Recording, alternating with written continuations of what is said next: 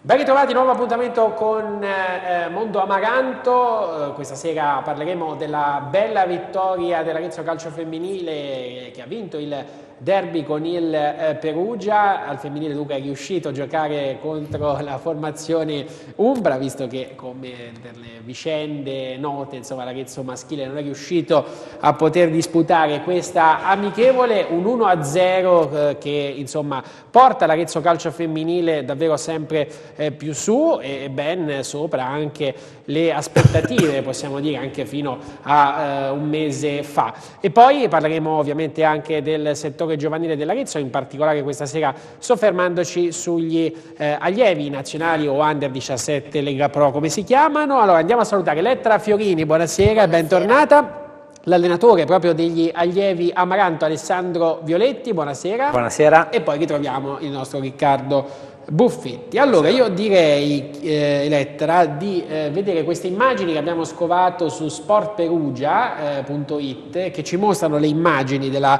eh, partita che l'Arezzo ha vinto 1-0, insomma eh, un altro tassello in più, no? Sì, è stata una vittoria decisamente eh, importante ma, ma, soprattutto sentita, la gioia che c'è, stato, che c'è stata nel vincere il derby contro il Perugia eh, penso che qualsiasi, qualsiasi, tifoso e qualsiasi atleta retino insomma, possa, possa, capirlo.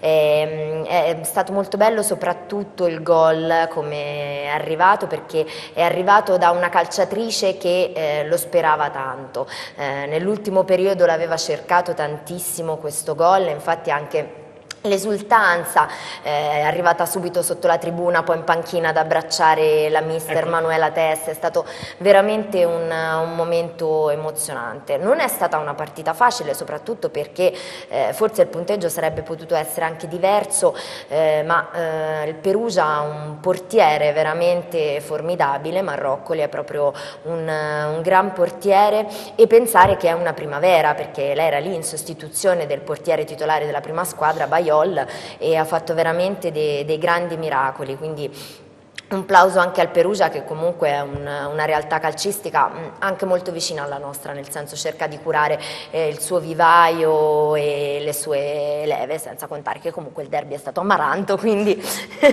siamo più felici così. Ecco, tra l'altro eh, immagino insomma poi ci sarà stata particolare euforia alla fine, no? Perché sì. si, eh, anche la giocatrice che era qui la scorsa settimana insomma, ci aveva fatto capire di quanto ci tenesse la squadra. Sì, tenevamo moltissimo a questa vittoria innanzitutto perché ci permetteva eh, di, di, poter raggiungere appunto in classifica il Perugia, agganciare questa metà della classifica che per il momento è assolutamente un, un traguardo molto importante, eh, visto comunque il percorso che, che abbiamo fatto e, e, continuiamo anche questa, questa cosa dell'imbattibilità esterna ormai da, da, diverse giornate consecutive, quindi eh, spero che anche questa vittoria ci sia di slancio per poter riuscire ad agganciare finalmente la prima vittoria casalinga nel prossimo turno. Ecco, Riccardo spera finalmente di poter annunciare questa vittoria, se gli fate questo piacere ve ne saremo grati. Quest'anno effettivamente ci speriamo, visto che l'anno scorso comunque era Lorentini il campo diciamo, il dodicesimo uomo in campo per ragazzi Amaranto, quest'anno sembrato un po' il contrario, diciamo in questo modo. Per Verdi eh, il coronamento di inizio di stagione è perfetto perché sta davvero conducendo bene il centrocampo di Arezzo insieme a Baracchi e la classifica sorride finalmente ad Arezzo che dice più 15 sull'ultimo posto, eh, che ricordiamo retrocede solo una squadra dalla Serie B, più 15 che possono portare Arezzo a diciamo, migliorare il progetto che c'è in corso. Ecco, questi sono i risultati, Castelvecchio, teniamoli pure, Castelvecchio Marcon 2 a 1, Gordige Federazione San Marinese 1 a 2, eh, Larezzo l'abbiamo detto, Limolese partita rinviata col Sassuolo, Iotin Ferrara batte Udinese 3 a 2, stesso su, eh, successo per il Vittorio Veneto sul calcio Padova eh, 3 a 2, poi Virtus Padova, la Saponeria Pescara 6 a 1 per questa classifica dove il Vittorio Veneto è sempre in testa a 31, Sassuolo 26, Castelvecchio e Calcio Padova 24, Newton Ferrara 23, Marcon 17, Arezzo 16, insieme al Grifo Perugia, poi Federazione San Marinese 14, Udinese Imolese 13, Gordige 9, Padova 5, la Saponeria a quota 1.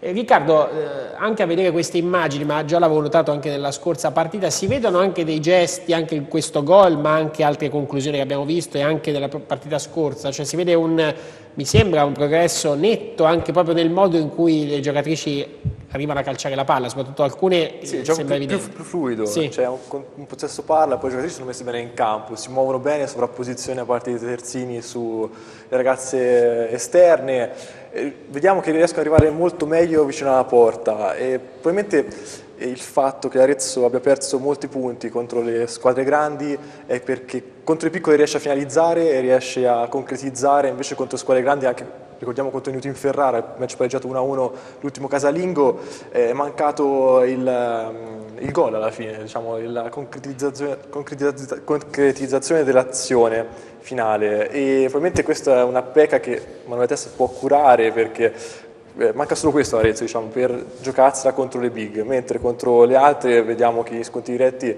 vengono tutti vinti, quindi eh, probabilmente è solo questa la mancanza di questo Arezzo che finalmente gioca bene e convince anche. Ecco, insomma, è, è quello che ci si aspettava, poi con il lavoro di Manuel Tesse era quasi una garanzia che accadesse, però insomma effettivamente si vede, no? È Sì, sì, sì, tangibile. assolutamente.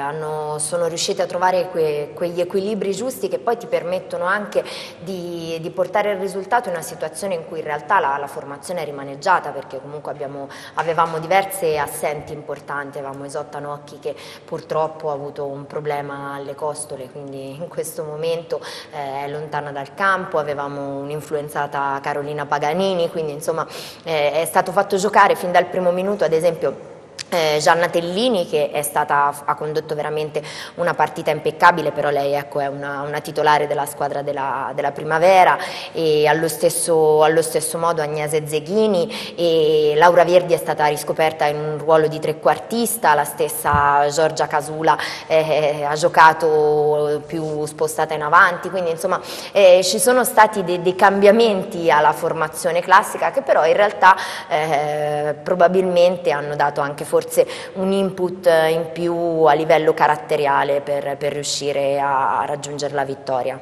Allora, Alessandro, da allenatore, come segui in generale no, questa crescita del- di questo movimento del calcio femminile? Allora, eh, sicuramente è una cosa interessante e piacevole, anche perché poi gli sport, secondo me qualunque sport eh, si pratichi, è, è bello vedere proprio la differenza che c'è tra l'aspetto maschile e quello femminile.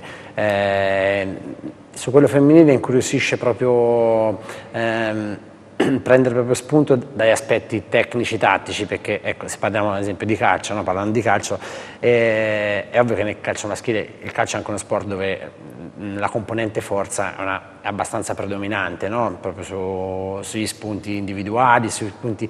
e quindi il calcio femminile a me invece mi sposta l'ottica proprio sulla parte tecnico-tattica e sono delle sfumature che, che- che si vede proprio, dettano proprio la crescita di questo movimento.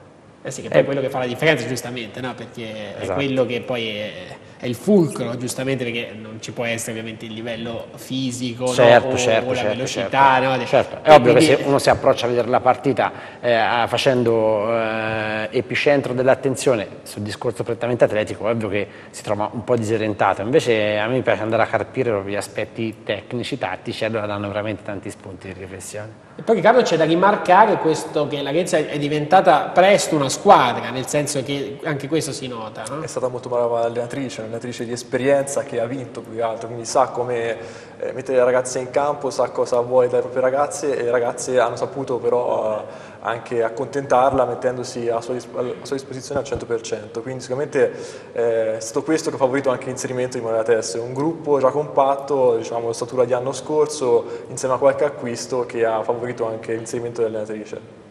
Diciamo a lettera della- di questa situazione, in casa adesso ci sono due partite consecutive perché siamo a cavallo tra girone di andata e rit- inizio di Esatto, ritorno. no? abbiamo l'Imolese ora nell'ultima giornata del, del girone di andata e sarà una partita comunque tosta, beh, l'unica squadra che ancora dobbiamo conoscere davvero sul campo, quindi eh, sarà tosta. Ovviamente alla nostra portata, almeno questo è quello che dice la carta e mm, Manuela Tesse più volte ha detto che mm, non c'è più una speranza di dover vincere in casa ma diventa un imperativo a questo punto.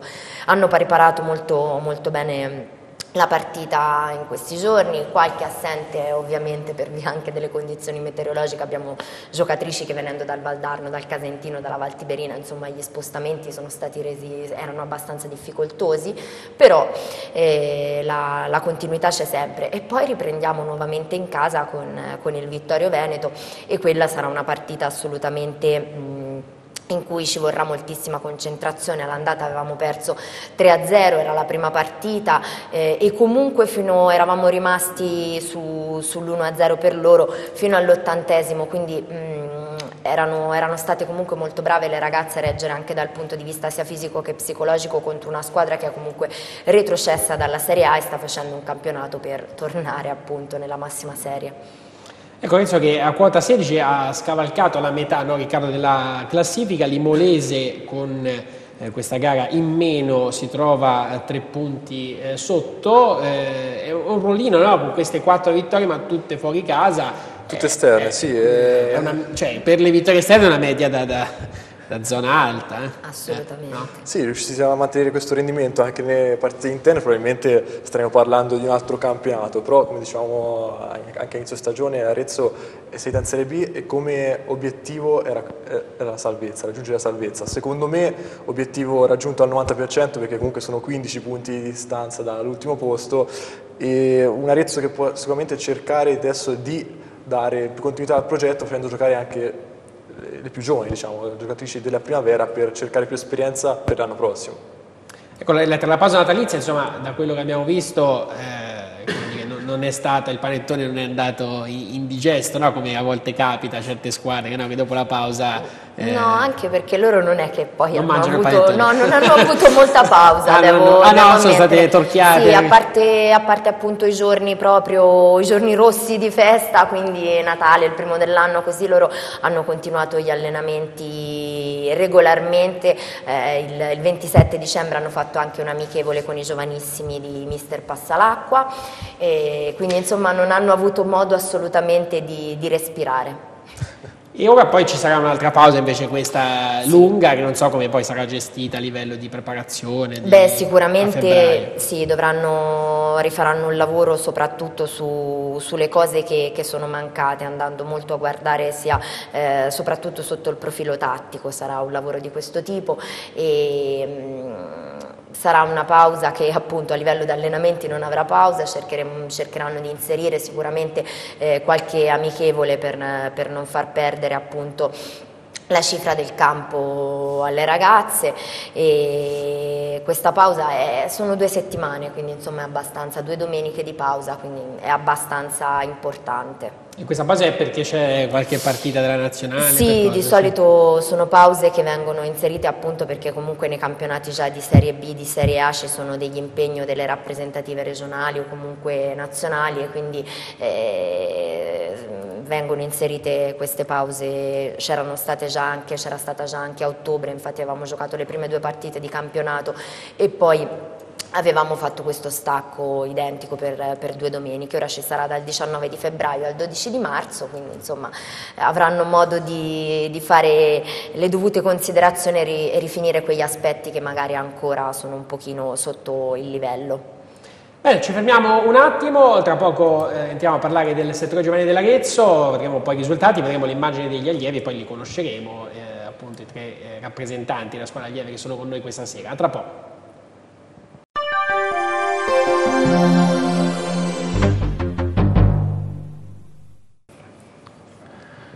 Eccoci tornati, allora la Berretti riposava questa settimana, eh, vediamo però brevemente cos'è successo, eh, diamo un'occhiata al girone dell'Arezzo, al girone C, l'Arezzo che ha 12 punti, 4 vittorie, 4 pareggi e 4 sconfitte, fin qui il cammino per la squadra di Elvis eh, Abbruscato, comanda in classifica il Tuttocuoio seguito eh, dal eh, Prato, Tuttocuoio che ha vinto 2-1 in casa della Viterbese, come abbiamo visto vediamo la classifica con il Tuttocuoio a 26, Prato 25, Livorno e Siena 23, Lucchese 18, Pistoiese 17, Gubbio, Arezzo, Lupa, Roma 16, Carrarese 13, Pontedera 10, Viterbese 6 e Olbia 4. E ora siamo a vedere gli eh, allievi, vediamo i gol di questo eh, 2 a 1.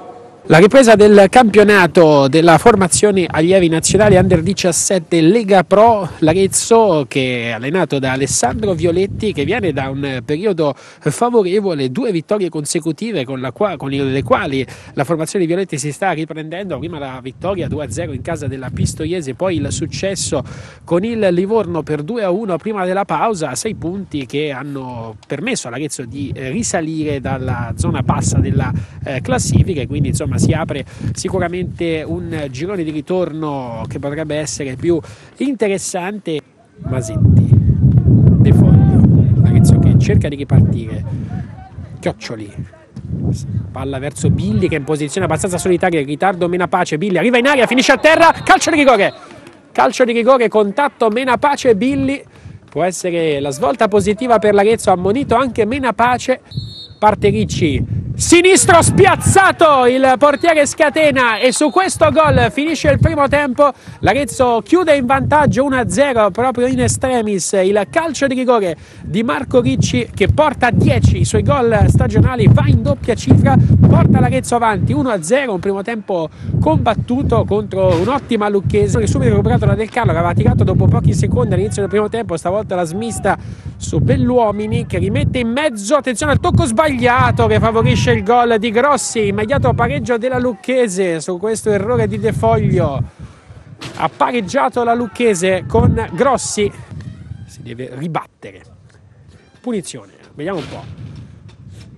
Ricci, è stato baciato da Calussi.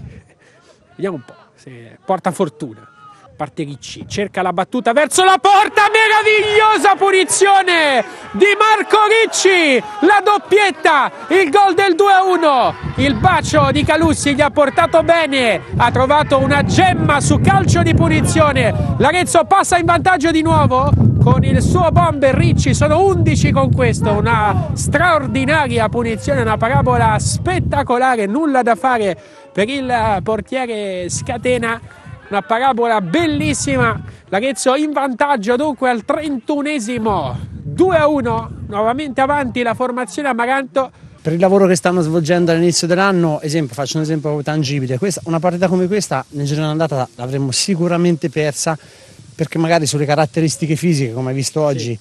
soffriamo un pochino, no? perché gli altri hanno più struttura, noi anche oggi avevamo un campo dall'inizio 5 ragazzi del 2001, ne sono entrati altri 3 e quindi da questo punto di vista un po' paghiamo dazio con l'esperienza e gli allenamenti, il percorso di crescita che stanno facendo, capiscono sempre di più quando marcare lo spazio, quando marcare l'uomo. Poi per quanto riguarda la fase di possesso palla, invece devo dire che anche oggi, nonostante un terreno molto impegnativo e difficile, come idea di calcio hanno sempre cercato sviluppo basso, perché dico sempre che è fondamentale, al di là del, delle difficoltà atmosferiche o avversarie che ci possano essere, che loro portino avanti i loro principi di gioco. E, sono, e da questo punto di vista ragazzi sono una soddisfazione incredibile, non perdono mai la propria identità, quindi sono veramente contento con loro perché poi i risultati, come dicevi giustamente te, aiutano a lavorare meglio e a prendere sempre più convinzione in quello che facciamo. Allora, eh, hai detto eh, dopo partita, no? all'inizio non l'avremmo vinta partita, una partita tipo questa.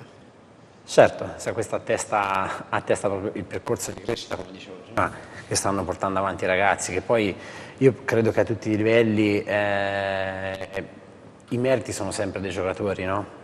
Cioè, un allenatore ha il dovere, quanto più nel settore giovanile, ha proprio il dovere di trasferire le proprie competenze e, e i principi di gioco eh, ai ragazzi, portarli a lavorare ad un'intensità così tanto elevata che gli permetta poi di saper scegliere eh, quale abilità tecnica e fisica eh, sia appropriata da utilizzare al momento, ma poi dopo gli artefici in campo, coloro che scelgono, coloro che interpretano al meglio quanto ho appena detto, sono loro.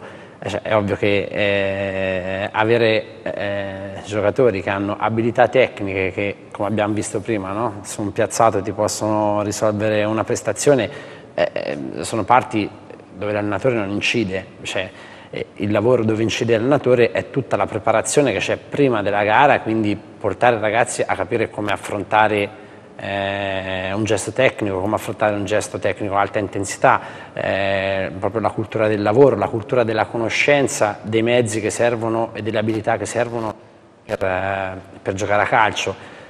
questo è quanto noi cerchiamo di fare da questo punto di vista, come ti ho detto a fine partita, io sono estremamente contento perché l'applicazione loro proprio nel migliorarsi, proprio nell'impegnarsi a, a, a, salire sempre quello scalino successivo è, è costante e, e, veramente notevole e quindi questo poi dà, dà, grande soddisfazione quando si notano poi i ragazzi che in questo processo di crescita arrivano a togliersi grosse soddisfazioni proprio come quelle che si stanno togliendo adesso. No? Io ho sempre detto, anche nei momenti in cui i risultati non arrivavano, credete in quello che stiamo facendo, eh, dedicateci il massimo, poi dopo il giorno di ritorno faremo i conti, ci confronteremo. È quanto sta accadendo e, il giorno era stata persa su certe situazioni, il giorno di ritorno su, su, sulle stesse identiche situazioni eh, è andata diversamente. È andata diversamente. Vediamo allora un attimo il quadro, Modena-Siena 6-0, Pontedera Tuttocuoio 2-1, Gubbio Viterbese 5-2, Livorno vinto a Pistoia 1-0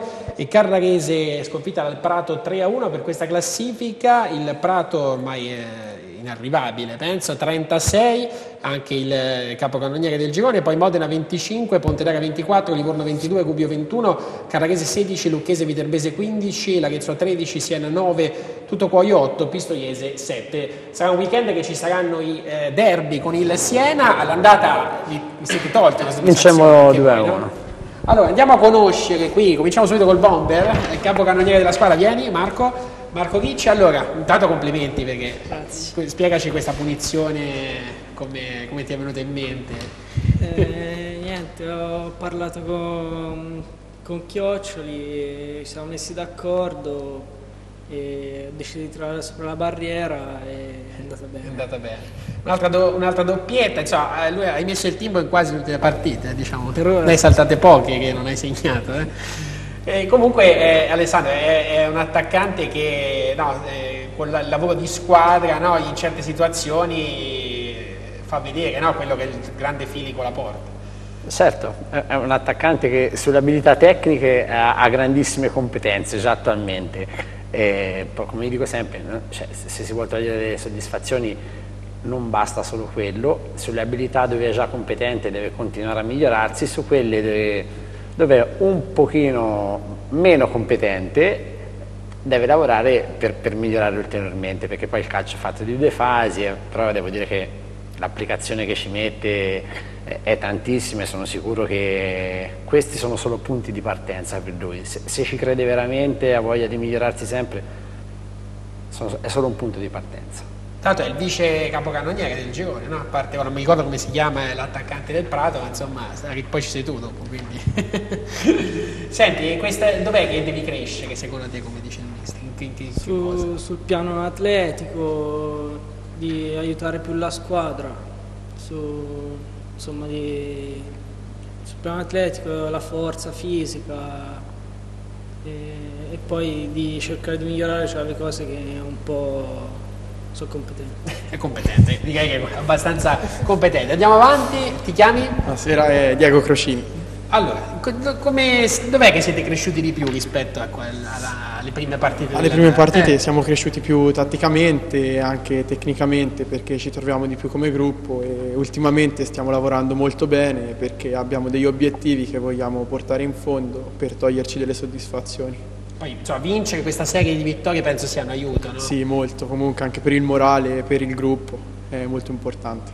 Ora c'è di nuovo il Siena, l'andata come dicevamo l'avete già battuto e Sì, l'abbiamo già battuto 2-1 l'andata e noi andiamo lì certamente per vincere e speriamo di ribattere. Tra l'altro Riccardo tu avevi commentato quella partita e che, che ricordo hai? Sì, beh, è stata una bella partita vista da come commentatore insomma ricca di emozioni poi Arezzo ha tenuto meglio il campo e è passato per 2 a 1 quindi io l'ho vista abbastanza bene quella partita sia come gioco che come livello di intensità quindi vedremo poi nel ritorno se eh, effettivamente Arezzo è riuscito a mantenere e a migliorarsi sotto quegli aspetti in che quello giochi tu? Io centrocampista, centrocampista. centrale ok bene andiamo a salutare ti chiami? Tralci Guido allora, tu sei entrato nel secondo tempo, se non sbaglio, sì. ecco, quindi eh, eri già sul 2-1 eravamo? No, sì? no ancora no. Eh, 1-1. Eh, come una partita che poi erano abbastanza scaltri, no? l'abbiamo detto anche dopo la partita, nel senso gli attaccanti, il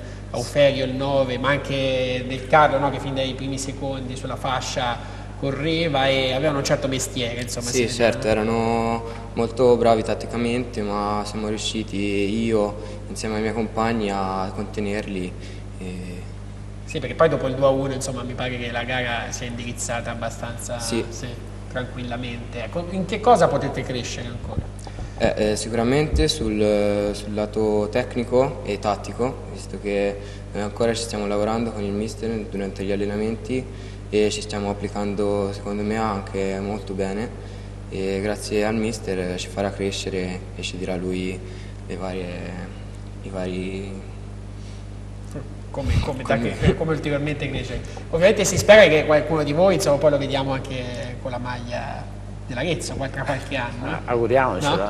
Poi, si, si, lavora per questo. Eh, si lavora per questo. Oppure capita come è successo al portiere, grazie, dei giovanissimi, no? E, eh, che è stato visionato dall'Empoli ed è andato a giocare nell'Empoli. Adesso fa questa eh. esperienza che eh sì.